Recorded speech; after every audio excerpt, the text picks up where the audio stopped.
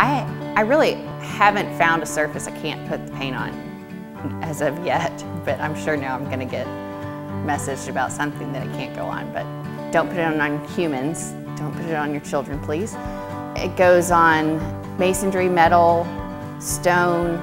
When you put it on something that is really, really resistant, like if you put it on laminate or something very, very shiny or sheen, um, a very shiny stone, something like that. Lots of times I will paint, seal, and then paint, seal again if I just have, if I'm just really worried about durability. But honestly, it just goes on anything lovely.